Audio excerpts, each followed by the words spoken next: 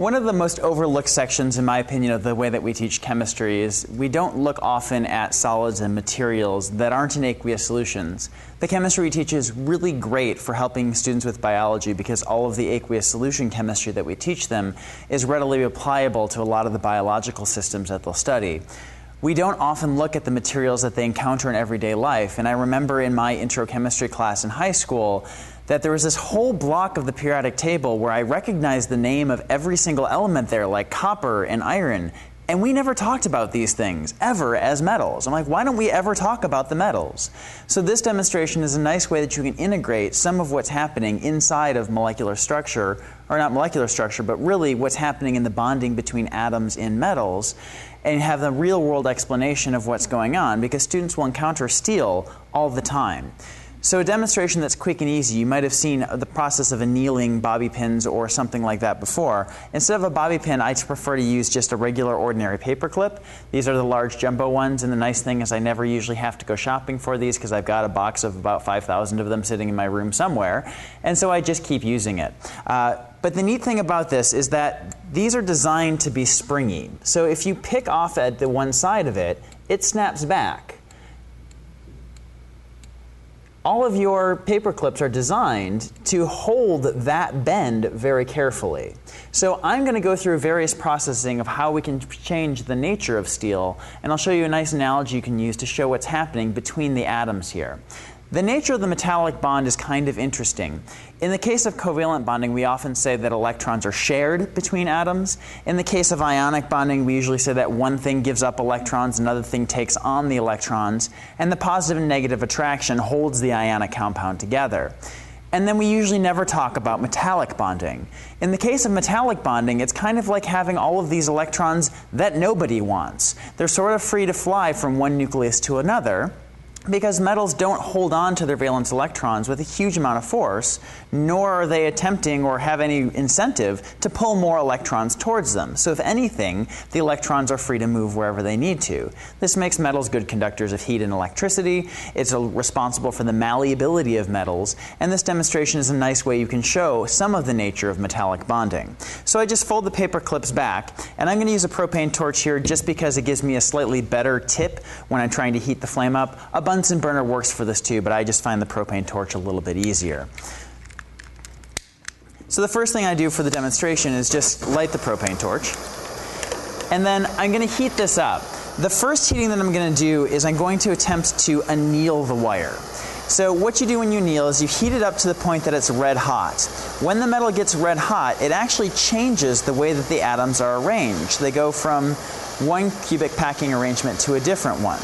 So I'm just going to heat up to the point that it's red hot, and I'm just going to leave it down on the countertop to cool. So this is heating it to a high temperature, to a temperature that can convert to a different allotrope. And an allotrope is just a different arrangement of atoms in the same element. So, for example, oxygen and ozone are considered allotropes of each other. Phosphorus has several allotropes. We have just different arrangements, graphite and diamond and carbon, different molecular arrangements of the same element. So, I'm going to let this one just anneal. The next one I'm going to do is I'm going to heat it up to that red hot point, and I'm going to take the metal and quench it, put it into a beaker full of cold water.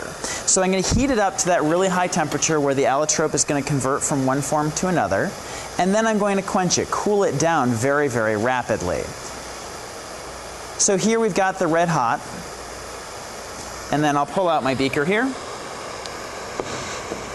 and I've got the red hot steel, and I just cool it down. And you can sometimes hear a little as it gets quenched. You are boiling away some of the water, so you hear a little bit of that. And I'll hold this for the close up. And you can see it's got sort of a little bit of an oxide coat on the outside of it. Well, when you heat iron up to high temperatures, oxygen's inevitably going to react a little bit. So I'll set that one out. So we have annealed and we have tempered. Or not tempered, sorry. We have annealed and we have hardened steel here. Well, I'm going to do one more. I'm going to heat it up and quench it but then I'm going to heat it up gently the second time. So again, we'll heat this to the point that it's red hot.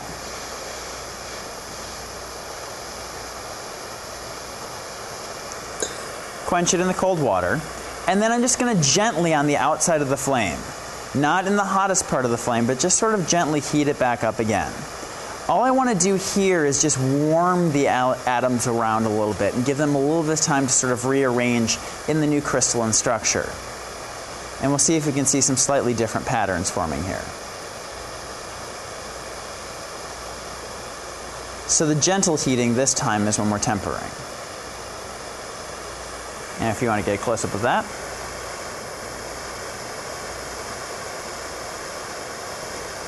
So let's compare the properties of these.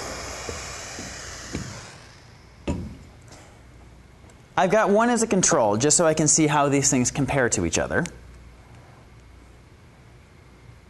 And so I have just a regular spring, and if I try to pull this apart, it just snaps back. So it's very springy. If I take my annealed wire and I try to bend it, it bends with minimal effort whatsoever. It's very, very soft in this arrangement. If I go for my hardened steel, if I bend it, the interesting thing is the part that I hardened doesn't bend anymore. In fact, the rest of the paper clip is the part that gets sacrificed. This part is really stuck in that position. And then if I go to the tempered steel, I go back to something that's slightly flexible, and I'm going to actually temper one more because this isn't doing quite what I want, but you go back to that springy nature. When they manufacture the paper clips, they manufacture them in a tempered state, so they still have that spring. They'll hold their form. Now, why would you want to do any of this? Well, hardening steel, when you take it and you quench it right away, if you want a really tough, durable steel, like in cutting surfaces or knives, most of your knives that are good quality cutting knives are, are in fact heated up and then shocked in a cold state that freezes them in a locked position and makes them very, very durable. Now, this is hard for my students to visualize if I'm just talking about it. So, a really handy tool that you can build to use in your classroom is just this. This is just two sheets of plexiglass with a little plexiglass border around it held together with a glue that will hold plexiglass, and it's just filled with some BBs, regular shot that you can buy in a store. But the interesting thing about this is that if we look at this from the overhead, and I put this in my classroom on the overhead projector and they can watch the shadows on the wall, is that what's happening on the molecular level? Well, really, these things are just vibrating around. They're moving around and around. So if I heat things up, we have lots of kinetic energy, right? So we can move these around. They can rearrange in whatever state they want to. But if I cool them down really, really slowly, and very gently, what do you notice about the arrangement of those spheres? We have a very highly ordered arrangement. So this metal becomes very soft and we have this nice, perfect crystalline arrangement. Now, what happens when we quench it? Well, we're going to heat that back up till the, the crystals are starting to rearrange, and we'll have the crystalline arrangement, and then shock it cold.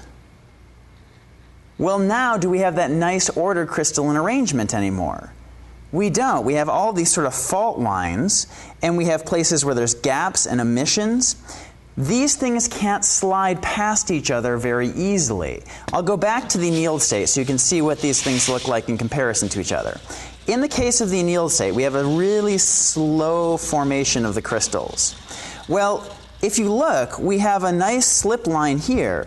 These things can slide anywhere that there are atoms perfectly arranged in a row. Well, things that slide past each other, isn't that kind of what malleability is?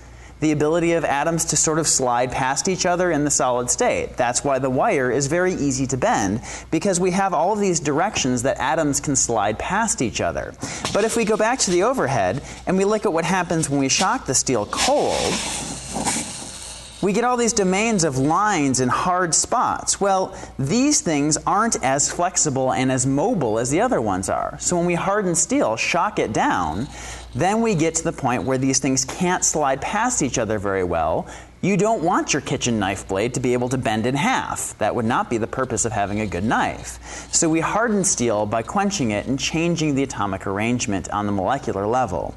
And then when we temper things, we take it from the shock position and we add just a little bit more energy. So you start to make bigger domains of where you have this. So it gives a little bit of give, just a little bit, but it's going to snap back to the position you really want it to be in.